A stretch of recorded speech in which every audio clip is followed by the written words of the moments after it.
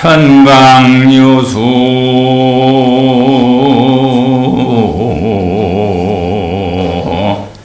천강월이요 말리문. 말리천예로다나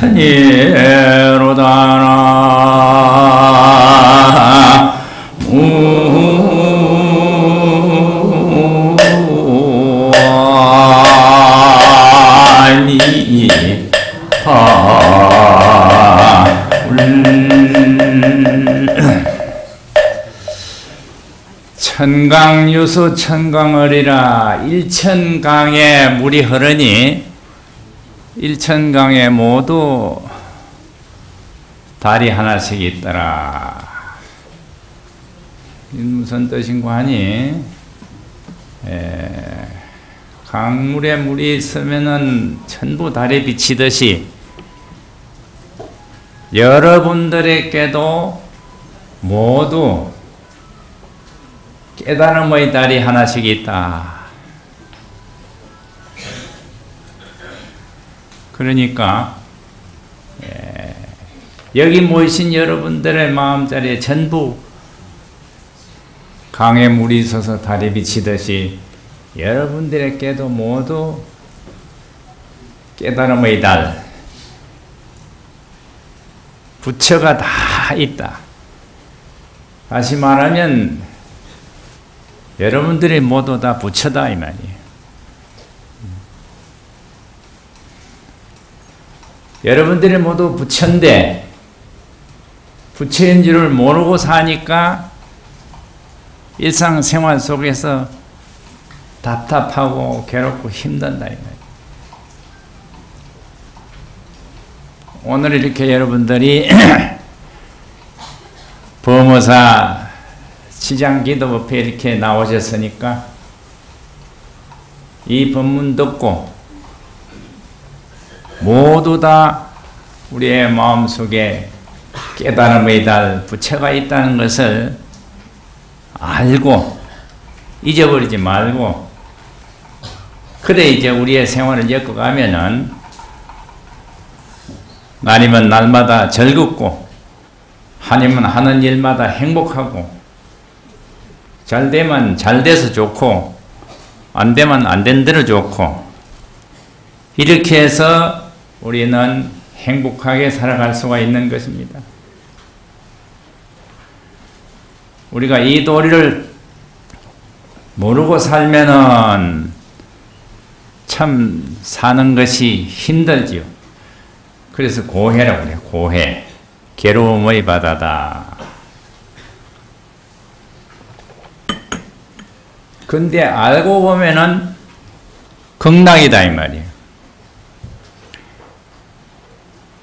우리가 부처님 법을 만났으니까 부처님 가르친 대로 극락 세계를 수용하고 살아야지 불법을 만나고 불자가 되었으면서도 한날 불안하고 초조하고 남하고 지지고 뽑고 싸우고 그래 살아서 되겠나 이 부처님 가르침의 근본은 자비가 바탕이 돼야 돼. 자비가 바탕이 되고 자비롭게 살려면은 내 마음이 열려야 된다 이 말이야. 내 마음부터 열려야 거기서 자비가 샘솟고 그래서 일상생활에 하는 일이 모두 나도 즐겁고 남도 즐겁게 해주고 이렇게 살아갈 수가 있는 것이 이것이 우리가 진정한 행복이다 이 말. 근데 모르고 살면은 나도 괴롭고 남도 괴롭게 하는 것이 이 어리석은 사람의 중생의 생활이라. 왜? 이 세상에 태어나서 부처님의 거룩한 법을 만났으면서도 나도 괴롭고 남도 괴롭고 그렇게 사느냐 이 말이에요.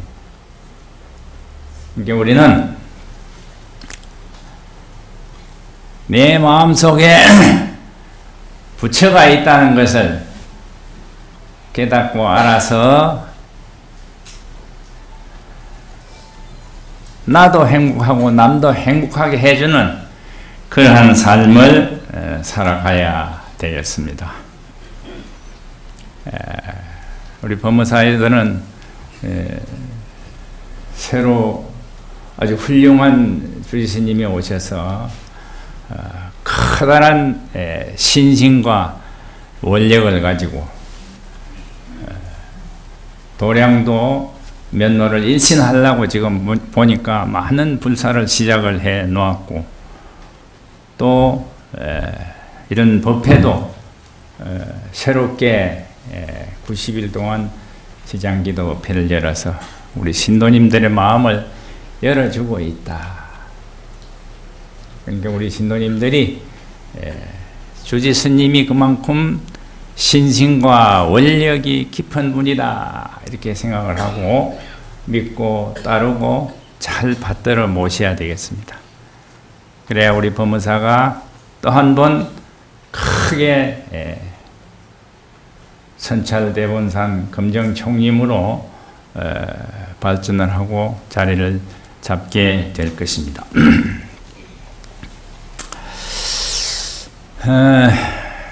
부처님 말씀에 일체유의법이 여무한 포영이라 일체에 함이 있는 모든 법은 꿈과 같고 여몽환이라 꿈과 같고 그 다음에 물거품과 같다 또한 여러 여계전이라 그림자와 같으며 이슬과 같고 또한 번개와 같다. 오늘은 이 말씀을 여러분들에게 전해드립니다. 우리 눈앞에 일어나는 모든 것들이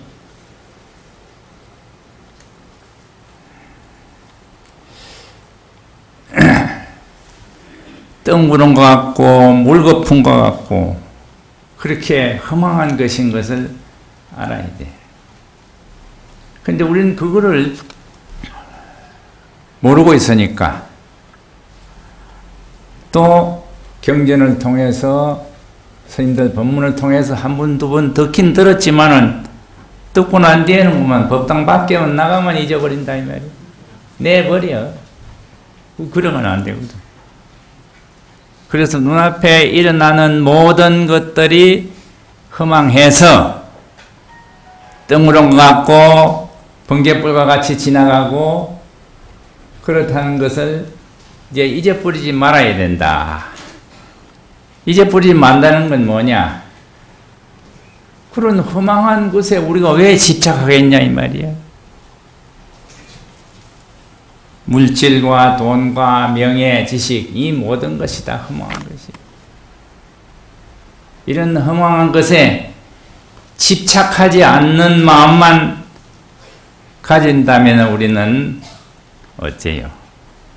마음이 편안하죠. 마음 편안한 것이 극락이라. 극락이 따로 있는 게 아니에요. 아무리 돈이 많고 권세가 높아도 마음이 편치 않으면은 그걸 극락이라고 할 수가 없죠. 극락 생활이라고 할 수가 없다. 근데 우리가 우리 눈앞에 현상계에 일어나는 모든 것들이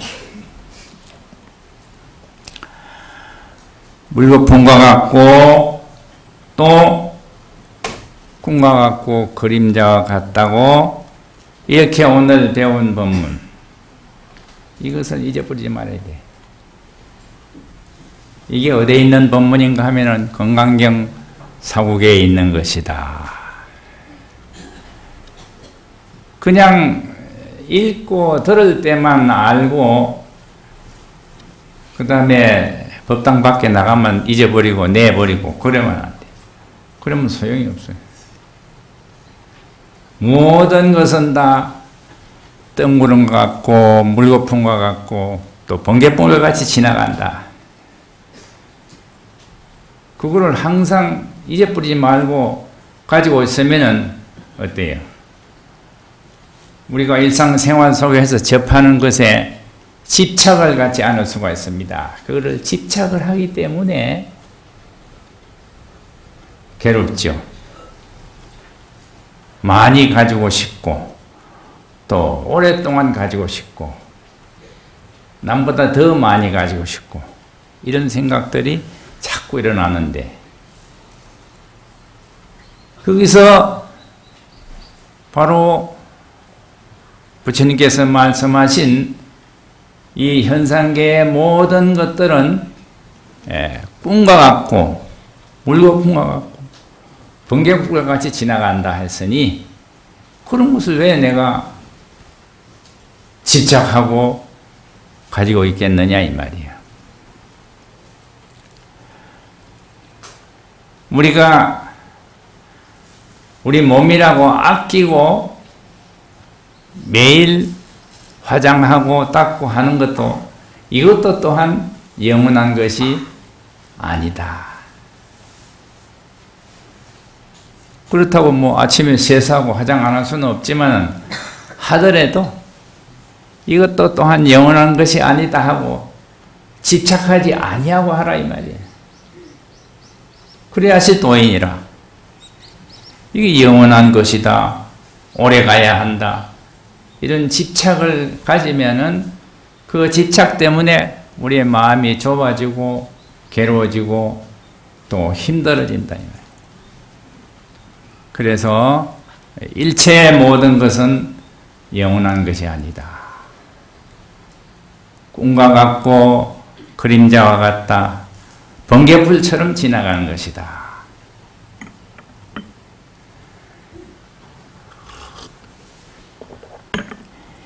이것을 항상 잊어버리지 말고 우리가 일상생활에 접하면은 어때요? 다른 사람들보다 마음이 훨씬 가벼워서 같이 생활하고 같이 먹고 같이 있고 같이 일하더라도 내 마음은 편안하고 내 마음이 편안하기 때문에 다른 사람들에게 자비로운 마음을 내어 쓸 수가 있는 것입니다. 이 법문은 듣고 잊어버리면 아무 소용이 없어요.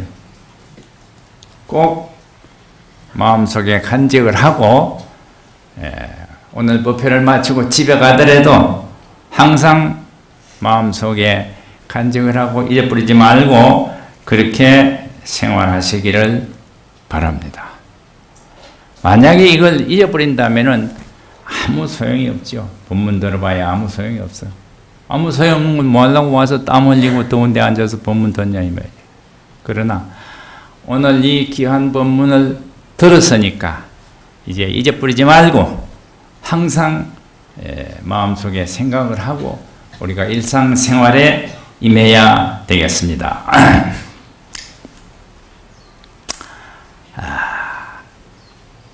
또 한 가지 이야기를 할게요. 에, 옛날에 신찬 선사 이야기를 하요. 이 이야기가 참 재미있어요. 본문이다 이 말이에요. 신찬 선사 이야기를 듣고 어, 또 재밌는 시간을 갖기 바랍니다. 신찬 선사가 아, 자기 스승을 떠나서 어, 공부를 열심히 해서 도를 성취한 뒤에 다시 예, 스승을 찾아서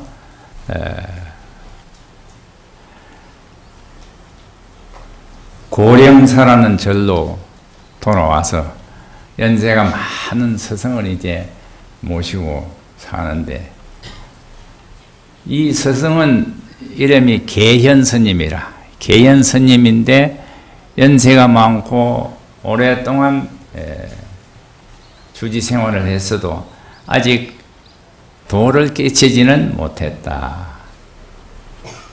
그래서 늘 이제 경전을 읽고 공부를 하고 있는데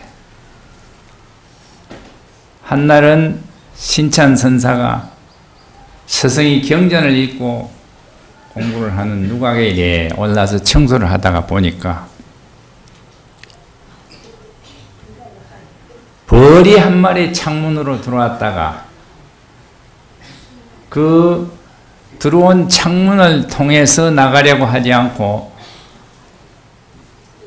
다른 창문을 가서 이제 밝으니까 자꾸 나가려고 치는 것을 보았다 이 말이야.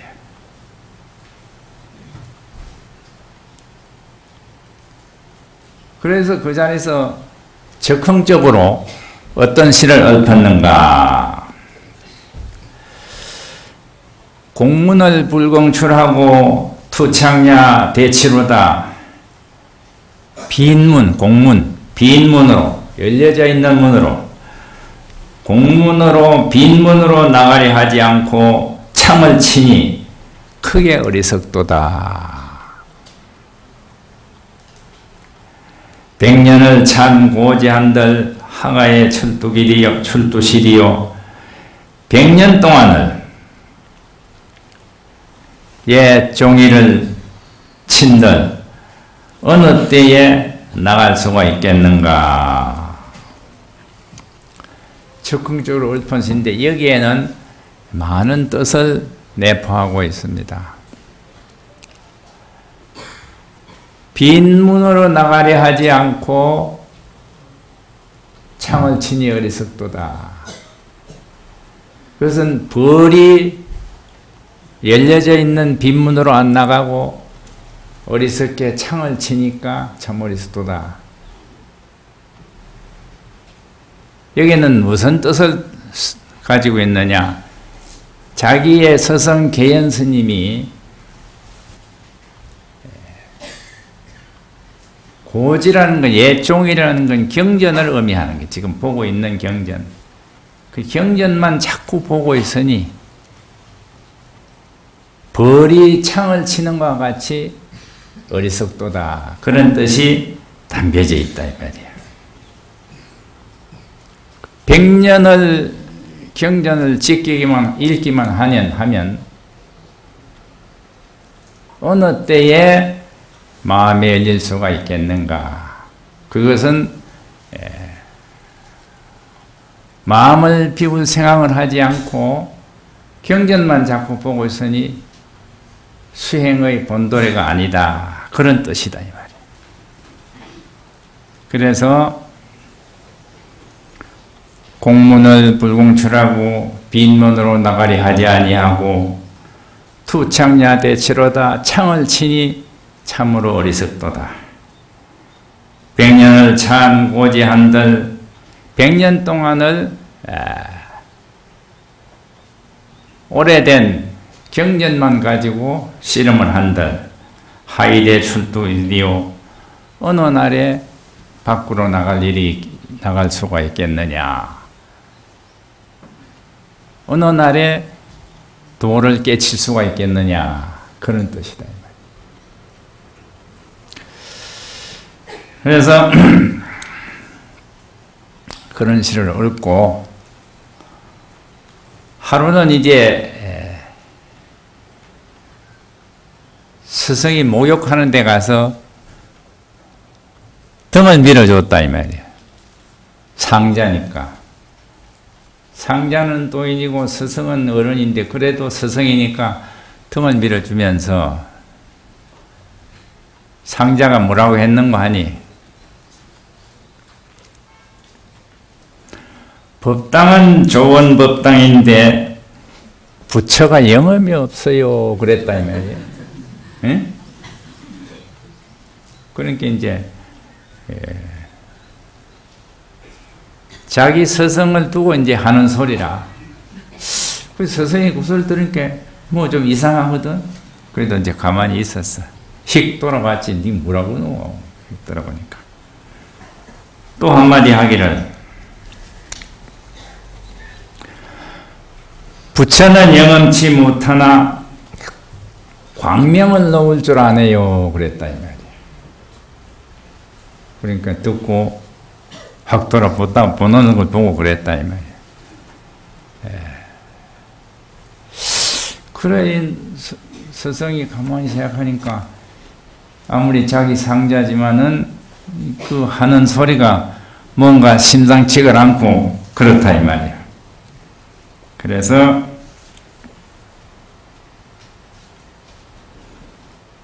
자기 상자를 인정을 하고 이놈이 어디 가서 공부를 했구나.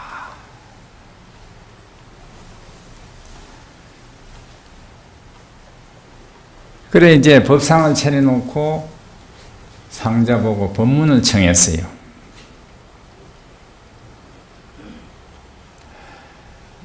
법문을 청하니까 상자가 법상에 올라가서 무슨 개성을 읊었느냐.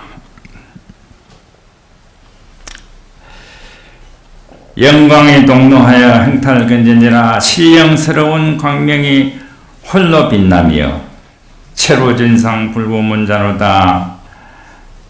육건 육진을 초월하여 자리이라 마음은 본래가 진상을 드러나여 무엇엔들 거리끼랴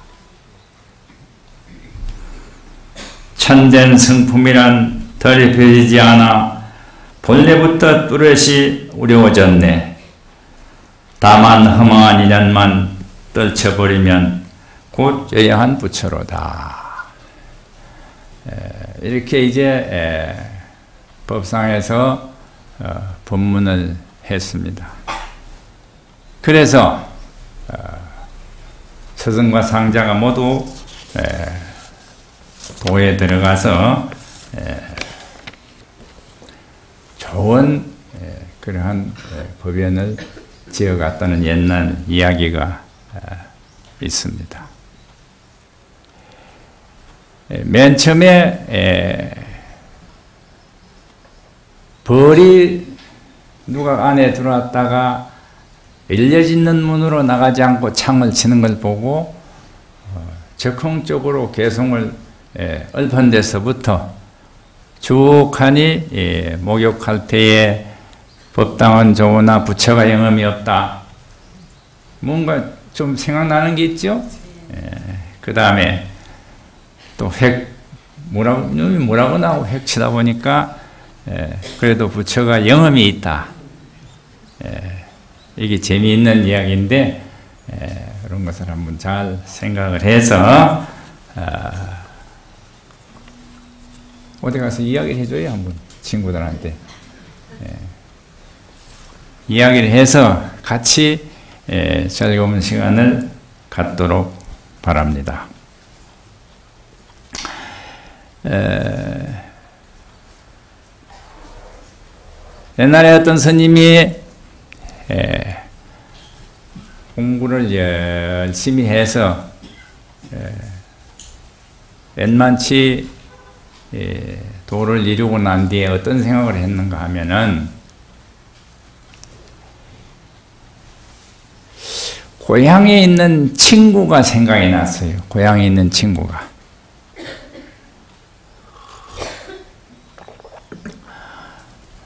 아, 그래서 이 고향에 있는 친구를 가서 어, 데리고 와서 같이 공부를 했으면 좋겠다. 이 친구가 고향에서 뭘 하고 있는가 몇십 년 만에 한번 친구 집을 찾아갔어요. 가서 친구하고 만나가지고 이제 그동안 지난 이야기를 하고 그리고선 하룻밤 자고 친구 보고 자네 이제 그만 세속 생활 다 정리하고 나하고 절에 가서 공부할 생각이 없느냐 그러니까 이 친구가 하는 말이 나도 자네 따라가서 세상사 잊어버리고 공부하고 싶은데 세 가지 할 일이 있다. 세 가지. 이건 이제 여러분들도 똑같은 생각일 거예요. 세 가지 할 일이 있다. 그 세 가지가 뭐냐? 첫 번째는 아들을 장가를 보내야 되겠고 두 번째는 딸을 시집을 보내야 되겠고 세 번째는 재산을 잘 나누어서 분배를 해줘야 되겠다. 그리고 이 세 가지를 한 뒤에 내가 자네 따라가서 공부하겠다. 어때요? 여러분들 똑같은 그런 이제 심리일 거다 이 말이에요. 예. 그래 그런 거 다 소용없으니까 빨리 가자 그러니까 안 된다. 이 세 가지는 해야 된다. 우리 우리 이제 신도님들 생각하고 딱 같을 거다 이 말이에요. 그래서 이스님이 할 수 없이 막 그냥 갔어요. 가 그러면 몇 해 지난 뒤에 내가 다시 오구만. 그러니까 빨리 그 세 가지를 다 해결하고 기다리고 있어라.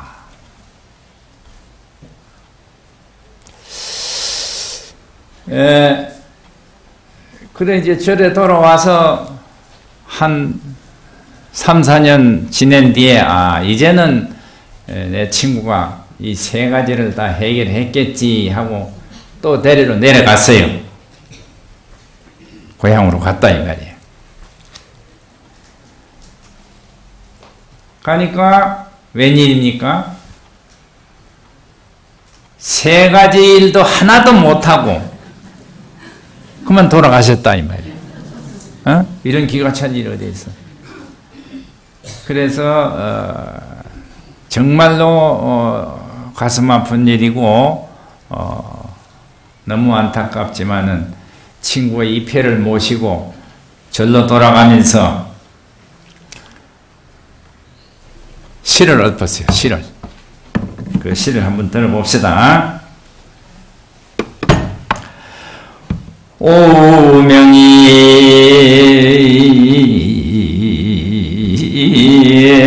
장조륜데 큰일 연 불 설삼두라나. 무미다.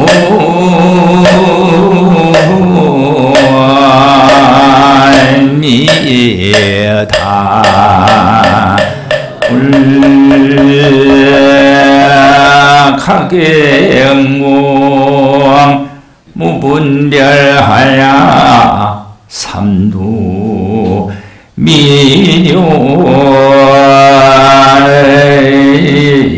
별내구로다나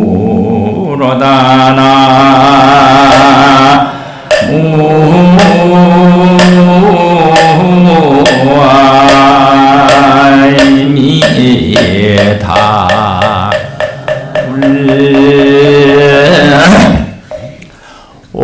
오명이 장조류라. 내 친구의 이름이 장조류라. 그 사람이 장조류였던가 봐요. 장조류. 뭐 장조류라고 해도 되고 김서방이라고 해도 되고. 권위 연불 설삼두라. 그 친구에게 연불하기를 권했더니 연불이 뭐예요? 수행하는 거죠. 어, 절에 가서 나와 같이 도를 닦자 수행을 하자 예, 권했더니 세 가지 해야 할 일을 말하더라. 세 가지. 설삼도 세 가지. 아까 얘기했죠? 아들 장가 보내고, 딸 시집 보내고, 재산 분배하고. 이 세 가지가 급한데, 그것부터 해놓고, 그리고 자네 따라가서 공부하겠네. 그러더라. 가게타 영공이 무문에 참 괴상하도다. 염라대왕이 참 눈치도 없고 분별도 없어서 예? 삼도 미룬데 별냈구나 세 가지 아들 장가 보내고 딸 시집 보내고 재산 분배하고 이 세 가지 한 가지도 못했는데 그만 와서 잡아갔더라. 여러분들도 한번 생각해보자 이 말이에요. 예? 급한 일은 우리가 연불하고 공부해서 마음을 열리게 하는 것이지 그런 것이 아니다. 염라대왕은 그런 거 인정사정 안 본다 이 말이에요. 세 가지 일 한 가지도 못했는데 그만 와서 잡아갔더라. 이 옛날 어, 이야기지만은 우리가 여기서 우리들이 처하고 있는 이 환경 속에서 한번 생각해 볼 일이다. 자, 그러면 이제 마무리로 부처는 무엇인가? 부처는 무엇인가? 부처는 깨달은 사람이다. 깨달은 사람이다. 각자다. 깨달았다고 하는 것은 몰랐다는 것을 알았다는 뜻이다. 모르고 있었다는 것을 알았다는 뜻이다. 즉 세상의 이치를 바로 아신 분이 부처다. 생명의 실장을 바로 아는 분이다. 불교는 우리 불교는 음, 자기 생명의 참모습을 아는 것이고 다른 종교는 나 외에 다른 신이 있다고 믿는 것이다. 이게 불교는 자기의 마음자리를 살펴서 알아서 깨달아 들어가는 것이고 다른 종교는 나 외에 다른 신이 있다고 믿고 그 신에게 모든 것을 의지하고 있는 것이죠. 이게 천차만별이에요. 이러한 근본의 이치를 우리가 알고 부처님 법 만난 것을 참으로 대단하게 다행스럽게 생각을 해야 됩니다. 자기 자신도 모르면서 자기밖에 어떤 신이 있다고 해서 거기에 믿고 빠진다면은 이건 참으로 어리석은 것이죠. 그래서 우리는 우리의 마음자리가 바로 어, 부처라고 하는 것을 믿고 변불 수행을 부지런히 하고 참선도 부지런히 해서 깨달음의 자리에 들어가야 한다는 것을 어, 잊어버리지 말아야 되겠습니다. 그래서 어, 아까 얘기한 세 가지 일이 중요한 것이 아니고 바로 지금 이 자리에서 마음 닦아서 깨달음을 얻는 것이 중요한 것이다.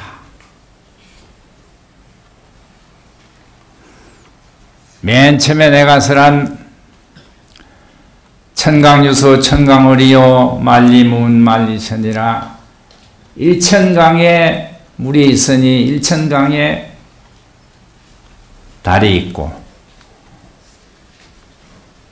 만리에 구름이 하나도 없으니 만리가 다 맑은 하늘이라 우리의 번뇌 망상이 하나도 없으면은 바로 깨달음의 그 자리다.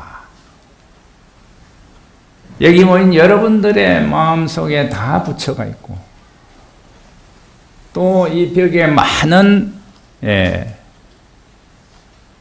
입회를 모신하는데 그 입회도 또한 다 부처 자리다.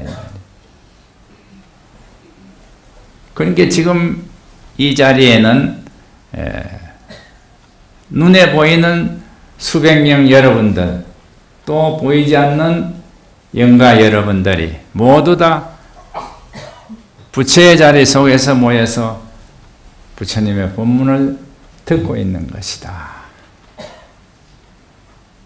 예. 우리 예. 90일 동안 지장 기도 여러분들 잘 성취해서 여러분들의 조상이 모두 왕생극락하고 여러분들은 마음이 열려서 행복한 나도 행복하고 남도 행복하게 해줄 수 있는 그러한 깨달은 인생을 살아가 주시기 바랍니다. 감사합니다. Oh, oh.